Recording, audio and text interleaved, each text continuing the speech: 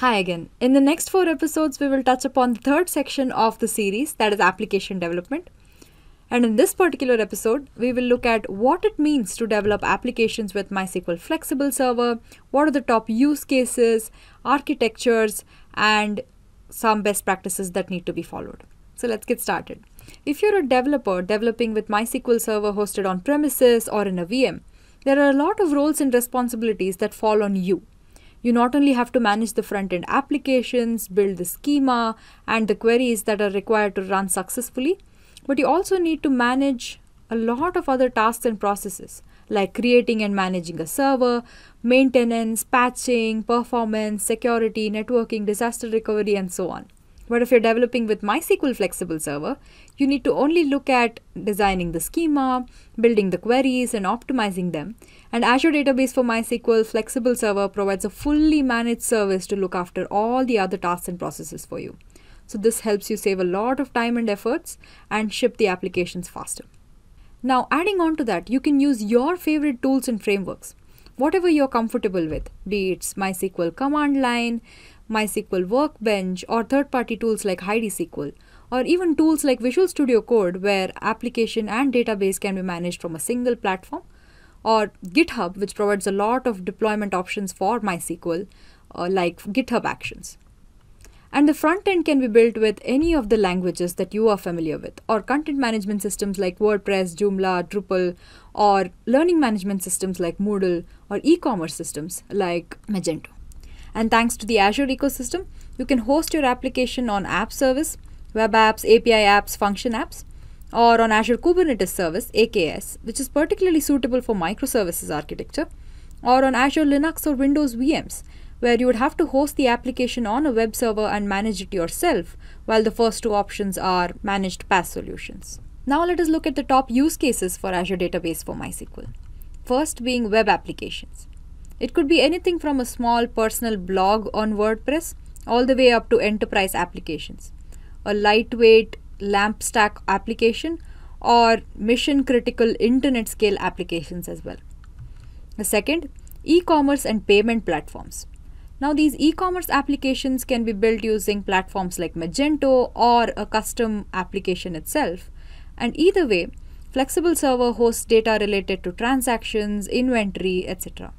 The third and most interesting use case is gaming.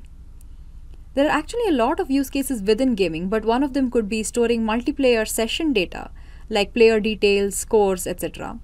And MySQL can actually scale even during very high traffic or sudden bursts of traffic. Let's look at a reference architecture for building an application from the first use case, uh, that is a WordPress or Drupal application using Azure Database for MySQL Flexible Server. First, we have a content delivery network powered by Azure CDN services, which routes the traffic through to Azure App Service. Now, the CDN can actually speed up your application by caching very heavy images, style sheets, or JavaScript libraries.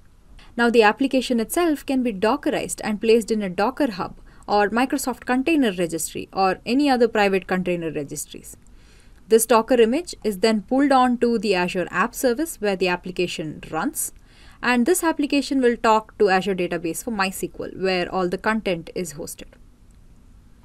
Now to increase the performance even further is where you can use the Redis cache. This caches the database requests that come to Azure Database for MySQL and especially if it is a very read heavy and less write heavy application then it can reduce the computational overhead on the Azure database for MySQL and increase the performance heavily.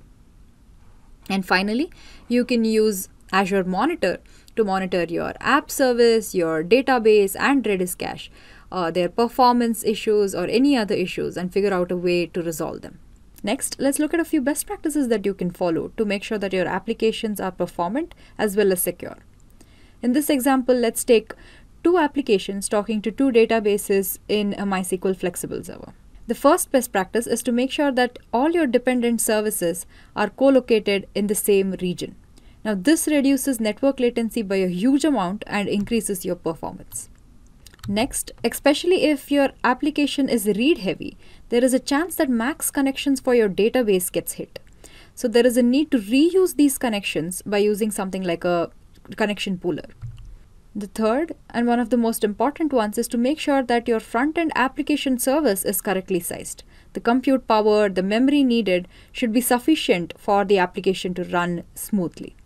You can size it right by doing load testing and trying out a combination of compute and memory. Next is security. Make sure that SSL is enabled for all your database communications. And on top of that, you can add another layer of isolation by putting all your resources in a VNet. In that case, outside resources will not be able to access what is inside this VNet.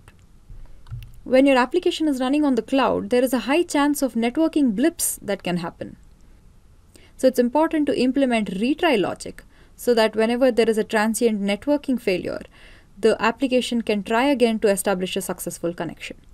This way, you can also understand if any error is just because of a networking blip or because there is actually an issue underneath. And the last one, make sure that you choose the right compute and storage for the database server. Again, perform a bunch of load testing, try out a combination of compute and storage to make sure that the database server can host all the databases. Here are a few resources that you can refer to. They're also provided in the description below. Thank you and see you in the next episode.